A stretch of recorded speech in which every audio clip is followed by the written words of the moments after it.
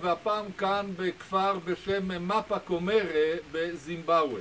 אני נמצא פה עם ידידים יקרים משבט הלמבה שגרים כאן בכפר הזה.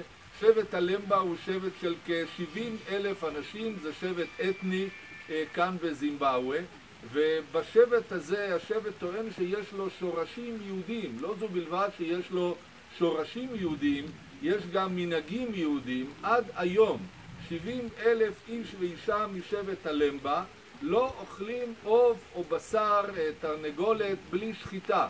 גם כשמתארחים אצל אנשים אחרים הם מביאים את העוף שלהם, את הסכין שלהם והם שוחטים בעצמם.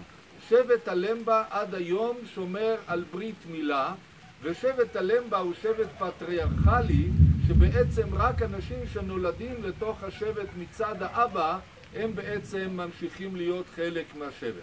נכון הוא שבשבט הלמבה יש היום חלק שהם כבר נוצרים כיוון שבמשך השנים הדת השלטת כאן בזימבאווה הייתה הדת הנוצרית וכל אחד היה צריך להשתייך לכנסייה כדי שיוכל גם לעבוד.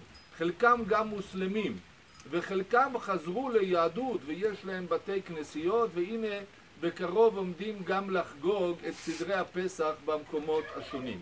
אבל גם אלה שהם נוצרים או מוסלמים יודעים שהמנהגים המיוחדים שלהם הם בגלל שהם צאצאי יהודים.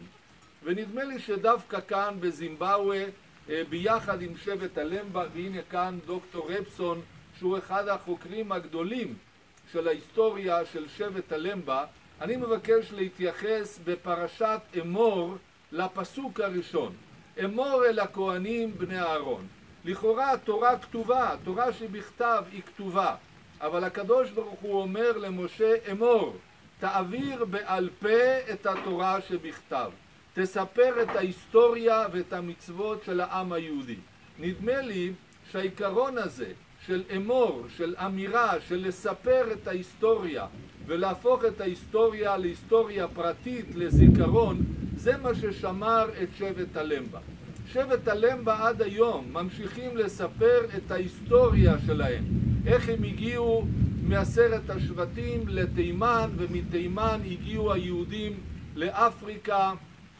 לזימבאווה ויצרו את השבט הסגור הזה, שבט הלמבה. ההיסטוריה הופכת לזיכרון בשבט הלמבה. הסיפור, האמור, שנמצא גם בפרשתנו, הוא זה ששומר על הזהות ההיסטורית וכעת גם היהודית של שבט הלמבה, ללמדנו שלפעמים התורה שבעל פה, הסיפור האישי, הוא אפילו יותר חשוב מאשר ההיסטוריה הכתובה. שבת שלום.